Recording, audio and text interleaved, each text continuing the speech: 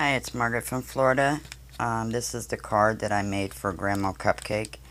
It's made out of the My Bestie uh, little girl that um, Paula Vine sent me. And the flowers came from Paula. And I put lace behind there and I put lace trim all around the card. And a little diamond on the side and a butterfly.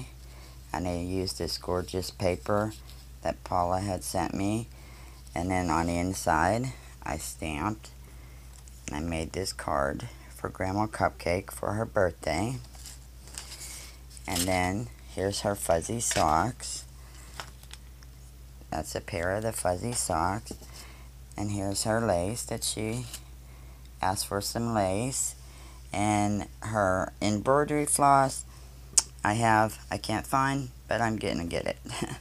But anyways, I just want to make this video. But this is for Grandma Cupcake. Okay, thank you for watching.